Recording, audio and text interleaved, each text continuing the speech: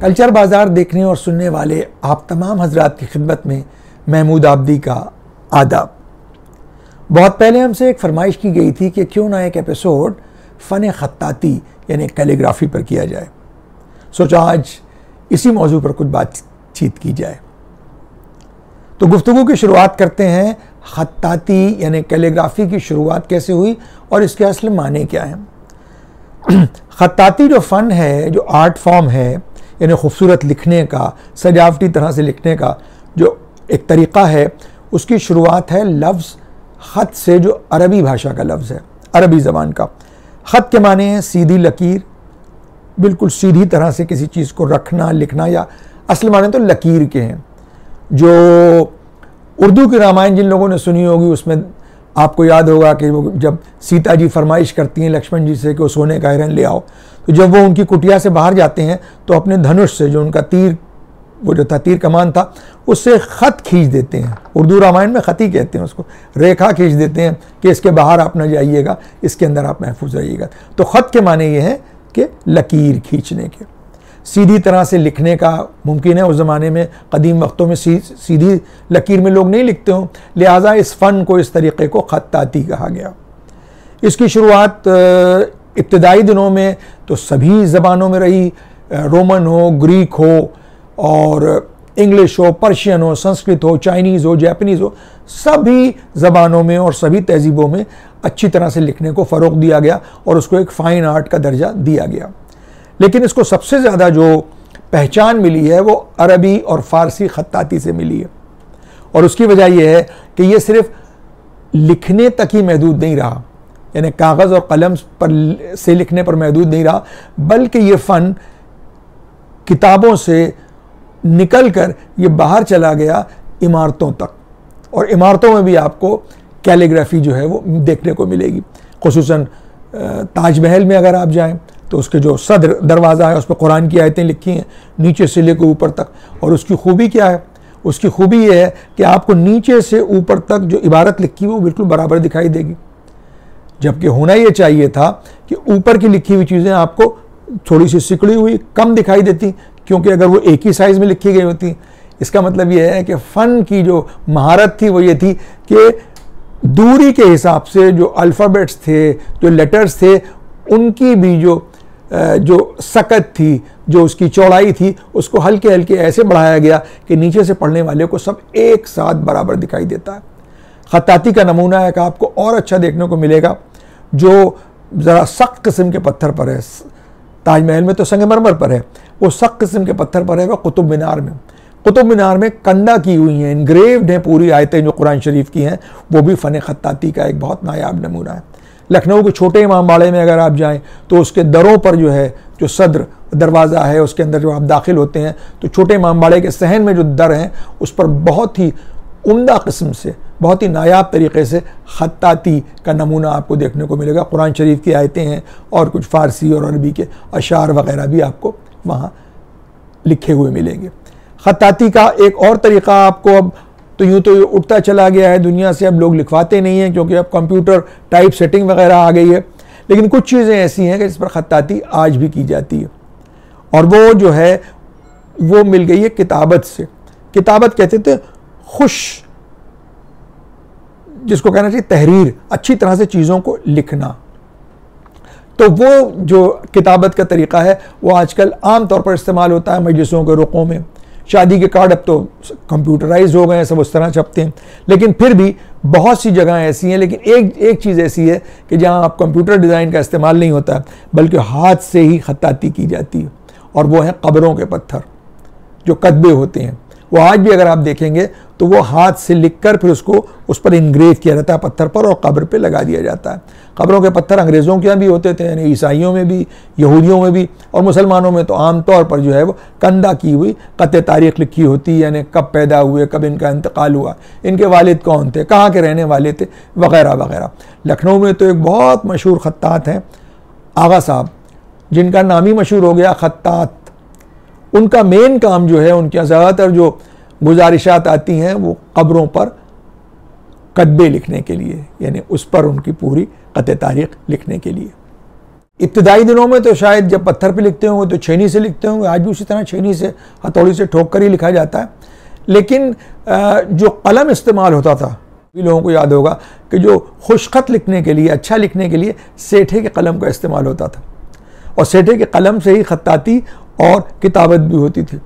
फिर बाद में अब तो बहुत अच्छी तरह की निबे निकल आई हैं और पूरे पूरे पैकेट्स आते हैं उसके, जिसमें अलग अलग तरह के जो स्टाइल हैं उसके निब्स के, उसके उसके हिसाब से आप लिख सकते हैं।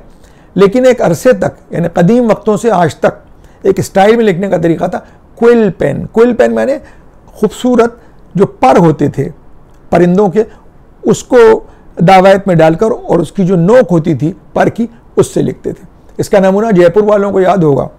जब कुछ अर्सा पहले महारानी गायत्री देवी जो जयपुर की राजमाता थी, उनका इंतकाल हुआ था तो उनकी एक तस्वीर रखी गई थी रामबाग पैलेस में, जो कुछ ज़माने में उनका घर भी रहा था।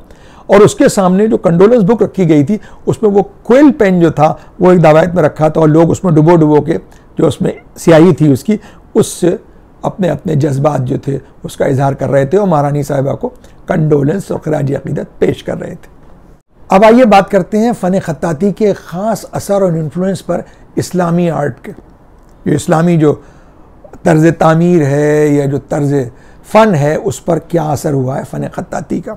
यूँ तो इस्लामी बिल्डिंग में अगर आप देखेंगे तो उसमें जियोमेट्रिकल फिगर्स आपको मिलेंगे ज़्यादा। या हद से हद फूल मिलेंगे। कहीं पर ह्यूमन फिगर या एनिमल फिगर नहीं होती है। लेकिन फ़न ख़त्ताती ऐसा है कि इसमें कुरान की आयतों को इस तरह से लिखा गया है कि मालूम होता घोड़ा है ये। मालूम होता है ये शेर है, मालूम होता है ये ये और कोई जानवर है, या कोई परिंदा है, या कोई फल है, कोई फूल है। और यहाँ तक के इंसान भी है। यानी नमाज़ पढ़ते हुए इंसान को दोनों रकत में वो बैठा हुआ है। रुकू की हालत में या वो सजदे की हालत में है। इस तरह की भी फिगर्स आपको जो हैं वो इस्लामी आर्ट में फ़न ख़त्ताती के ज़रिए से आपको मिलेंगी।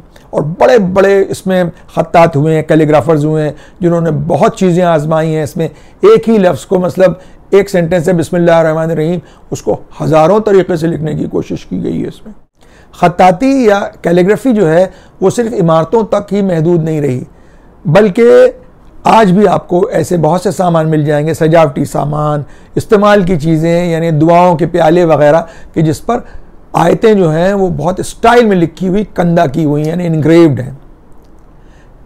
तावीज़ आपको मिलेंगे, बाजूबंद मिलेंगे, जेवरात मिलेंगे, जिन पर बहुत ही स्टाइल से आयतों को लिखा गया है, और वो भी कैलीग्राफी का एक नायाब नमूना है। बर्तनों में आप देखेंगे, बहुत सी प्लेट्स होती हैं, सजावटी प्याले होते हैं, चहल कुंजी का प्याला। कभी चौक के बाज़ार, लखनऊ, आप जाइए, किसी पुरानी दुकान पे जहाँ सब शादी ब्याह का और समा का सामान मिलता है, उनसे कहिए, भैया, चहल कुंजी का प्याला दे दो।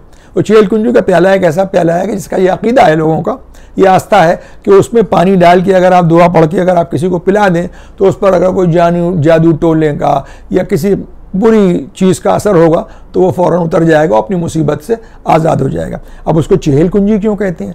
चेहल के माने होते हैं फ़ारसी में चालीस के। तो उसमें चालीस कुंजियों का एक बंच भी होता है उसके साथ। वो एक अलॉय का प्याला होता है, उसमें बड़ी खूबसूरत बारीक बारीक आयतें लिखी होती हैं, यानी कंधा की हुई होती हैं। यानी इनग्रेव की हुई होती हैं और उसके साथ वो भूरे रंग का होता है, बिल्कुल कत्थई रंग का चॉकलेट के कलर का। और उसमें वो चालीस कुंजियाँ भी उसके साथ मिलती हैं आपको जो उसमें अटैच्ड होती हैं। चालीस कुंजियों को कहते हैं, उनका कुछ असर ये होता है कि वो ज़्यादा असरअंदाज होती हैं जादू टोने पर। अब चालीस से ही निकला है चेहलुम, जो मरने के बाद चालीसवें दिन की रस्म होती है। अव्वल तो आप में से किसी की फरमाइश थी कि कैलीग्राफी पर प्रोग्राम हो, और दूसरी ये बात कि यह किस्सा हमने इसलिए छोड़ा कि इस बातचीत की जो माल महफिल बात है, वो एक ख़ास ज़िक्र है। वो है लखनऊ के एक मशहूर कैलीग्राफर हाशिम अख्तर नकवी साहब का, जिनको जो एक बहुत ही मास्टर कैलीग्राफर हैं, न मालूम कितने इनाम उनको मिल चुके हैं, लिमका बुक में भी उनका ज़िक्र है। और अभी हाल ही में ईरान ने कोई इंटरनेशनल कैलीग्राफी का एक कंपटीशन या एक फेस्टिवल रखा था, उसमें भी उनको एक ख़ास इनाम से नवाजा गया। हाशिम अख्तर नकवी साहब यूँ तो पेशे से आर्किटेक्ट हैं। लेकिन उनकी सबसे बड़ी जो चीज़ थी जिसने उन्होंने जिसने उनको इब्तदाई दिनों में बहुत नुमाया किया, बहुत शोहरत उन्हें दिलवाई, वो ये था कि उन्होंने सात सौ छियासी दफ़ा और हर दफ़ा एक मुख्तलिफ़ अंदाज से, कैलीग्राफी से उन्होंने बिस्मिल्लाहमान रहीम लिखा है, जिसमें कुछ बिल्डिंग के नमूने भी हैं। दूर दूर से आपको देखने में मिलेगा कि वो बिल्डिंग है, लेकिन वो लिखा है बिस्मिल्लाहमान रहीम और उसकी वजह यह है कि हाशिम अख्तर नकवी साहब जो हैं, वो आर्किटेक्ट हैं। और आर्किटेक्ट, हमारा ख्याल है कि पुराने ज़माने में भी जो लोग आर्किटेक्ट होते होंगे, उनका कैलीग्राफी से ख़ास ताल्लुक़ होता होगा। जिसकी मिसाल हमने आपको ताजमहल के दरवाजे पर लिखी हुई आयतों से अभी याद दिलाई थी दूसरी लखनऊ में उभरती हुई कैलीग्राफर हैं, उनका नाम है जहरा जाफरी। जिनका असल में नाम है सैदा कायनात जहरा जाफरी। उनके भी जो ख़त्ताती के नमूने हैं, वो बहुत खूबसूरत हैं और बड़े मकबूल होते हैं और दूर दूर तक उसकी सतश की जाती है और उसकी फरमाइश भी की जाती है, जिसके नमूने हम आपको कुछ एक आधे वक्त दिखा भी रहे हैं। ईरान, अरब, तुर्की और तमाम सेंट्रल एशियन ममालिक में फ़न ख़त्ताती जो है, वो अपने अलग अलग अंदाज में पाई जाती है। लेकिन अगर इंडियन सब कॉन्टीनेंट में ख़त्ताती का ज़िक्र हो और पाकिस्तान के मशहूर पेंटर और ख़त्तात, जो पहले ख़त्तात पे बाद में पेंटर हैं, सादक़ैन साहब का ज़िक्र ना हो तो ये ज़िक्र नामुकम्मल रह जाएगा। सादक़ैन के जितने भी पेंटिंग के शाहकार हैं, उनमें आपको ख़त्ताती की एक झलक ज़रूर देखने को मिलेगी। कैलीग्राफी से ही शुरुआत हुई किताबत की। किताबत यानी चीज़ों को लिखना जिनको बाद में छापा जाए। वो एक ख़ास तरीक़ा होता था कि उसको जो, जो इबारत लिखी जाती थी उसको कैसे छापा जाता था। वो हमने अपने प्रिंटिंग प्रेस वाले एपिसोड में आपको बताया कि उर्दू के अखबार कैसे छपते थे। तो किताबत जो है वो भी एक ख़ास किस्म का कैलीग्राफी का ही एक हिस्सा है। खूबसूरत तरीके से चीज़ों को लिखना। और इनका मिला जुला संगम है दो नमूने जो हम आपको दिखा रहे हैं। एक तो मुग़ल बादशाह बहादुर शाह ज़फ़र, मुग़ल शहनशाह बहादुर शाह ज़फ़र का ये निकानामा है। और दूसरा है लखनऊ के नवाब सादिक अली खां शीश महल के बेटे, नवाब हैदर अली खां शीश महल सिकंदर नवाब साहब का निकानामा और ये दोनों ही निकानामे जो हैं, ये सोने के पानी से, प्योर गोल्ड वाटर से लिखे गए हैं और इसमें सारा डिज़ाइन हाथ से बनाया गया है, जबकि आज निकानामे जो हैं, वो बाज़ार में छपे छपाए मिलते हैं। कैलीग्राफी, ख़त्ताती यानी स्टाइल में किसी इबारत को लिखना, किसी बात को लिखना, ये एक बहुत प्राचीन कला है, बड़ा कदीम फ़न है। और इसका कैनवस बहुत वाइड है। लिहाजा इस छोटे से प्रोग्राम में इसके सारे ही पहलुओं से आपको आशना करवा पाना हमारे लिए मुमकिन नहीं हो सका है। लेकिन उम्मीद है इस कम वक्फे में जितनी बातें हम हमने आपसे शेयर की हैं, वो आपको पसंद ज़रूर आई होंगी। अपने कमेंट्स में हमें आज के प्रोग्राम के बारे में आप ज़रूर लिखिए। हमारे बदमाशों वाले एपिसोड के सिलसिले में आप हजरात के बहुत से कमेंट्स हमको मिले। और बड़ी मज़े मज़े की बातें हमें याद भी दिलाई गई। एम उर्गा साहब और संजय वाजपेयी साहब ने कहा है कि हम चिरकुट को क्यों भूल गए अपनी बदमाशों की फहरिस्त में। तो उर्गा साहब और वाजपेयी साहब चिरकुट जो है वो बेचारे बदमाश नहीं होते हैं, बल्कि चिरकुट एक ख़ास किस्म की हुलिया होती है। यानी बहुत दुबले पतले लोग और ज़रा दिल के कमज़ोर लोग होते हैं। किसी से लड़ाई झगड़े में बहुत पीछे रहते हैं। तो उन लोगों को चिरकुट कहते हैं। तो चिरकुट कोई बदमाश नहीं होते, बल्कि एक ख़ास किस्म की हुलिया के लोग होते हैं। जैसे लप्पू झन्ना लप्पू झन्ना कोई बदमाश थोड़ी होते हैं। लप्पू झन्ना वो लोग होते हैं, दुबले पतले, टेढ़े टेढ़े चल रहे हैं, यानी इधर गिरे कि उधर गिरे तो उनको कहते हैं, रमा, जब लप्पू झन्ना किस्म के इंसान हो तो इसी तरह से चिरकुट लोग जो हैं, वो बदमाश नहीं होते बल्कि सीधे साधे लोग होते हैं।